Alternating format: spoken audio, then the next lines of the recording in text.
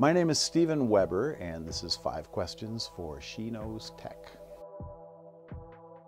I am the executive director of Berklee NYC, which is Berklee's um, presence in New York City, and I'm also the Dean of Strategic Initiatives at Berklee College of Music.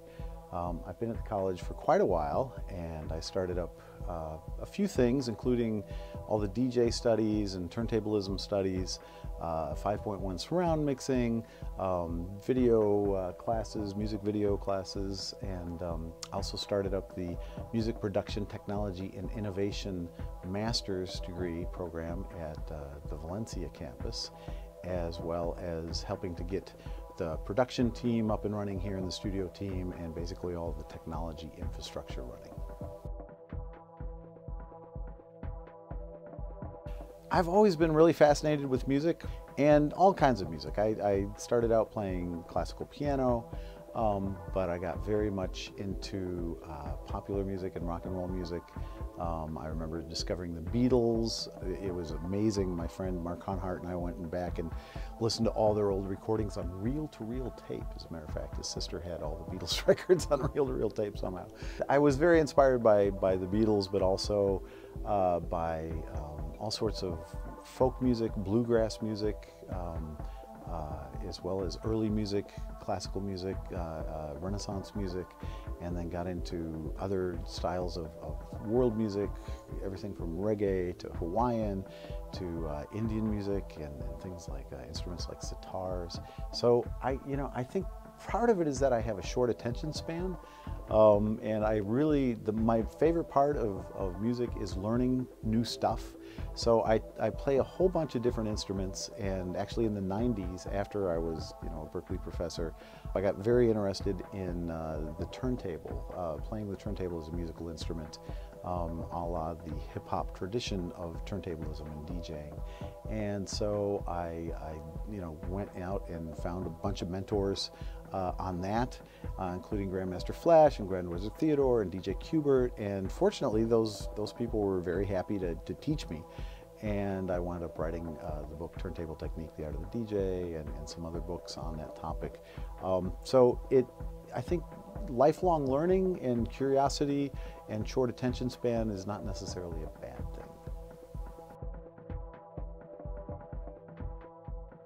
I have so many female role models and mentors. Actually, my, my main guitar teachers uh, were always women.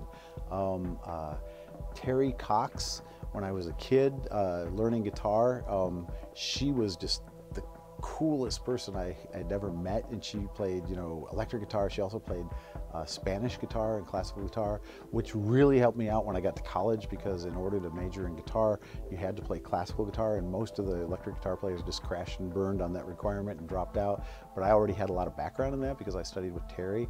She was just so amazing. And then actually later, Sharon Isbin, who uh, runs the guitar program at, at Juilliard, um, she's, I'd always admired her playing and um, finally getting a chance to study with her was a huge deal for me. I mean, she's, she's a lot of fun as a person, but as a teacher, she is absolutely just on it and, and no nonsense. And I learned a lot from her about just how serious she takes her art, you know, and how much time and effort she puts into just making sure that everything is really, really right.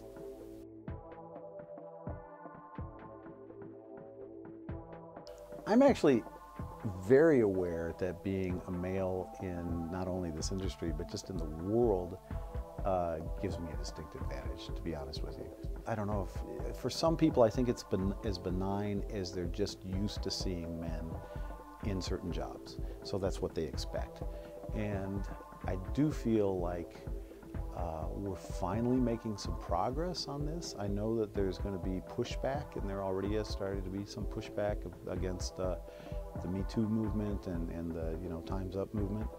Um, but I think it is really interesting that it's finally come to this, and um, I'm you know I'm really fascinated to see what happens next.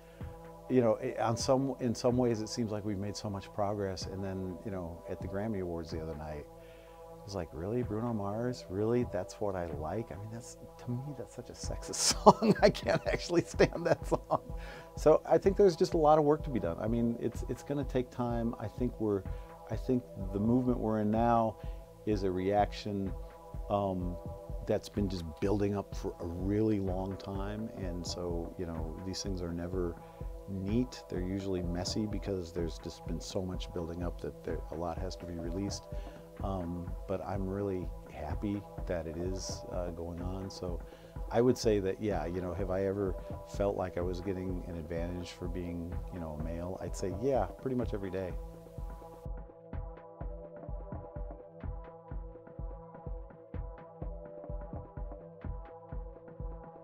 I think everybody has a role to play in, in trying to, uh, you know, help uh, equalize the, the gender gap in, in the music industry. And especially in the music technology side of things, you know, that, that, that gender gap is so pronounced. One thing that we did here in, in Valencia is, is after the first year, where I think we had four women uh, out of 20, is we set a goal to try and double the number of, of women that we had in the program. And we were able to do it. Um, and and it took effort you know and it wasn't just we're going to let in more women.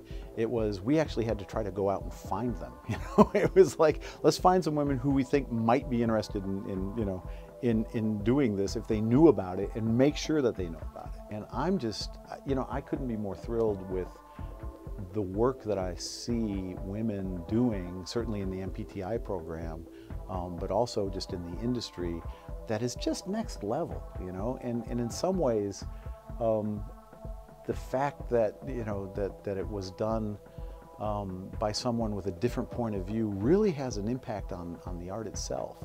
And I think that that you know we're starting to hear more voices um, and a diverser range of voices, and that's I think that's a, that's a very very good thing, and it's going to, you know, a generation from now, two generations from now, three generations from now, you know, I'm hoping that uh, we have a much more interesting mix of, of things to choose from.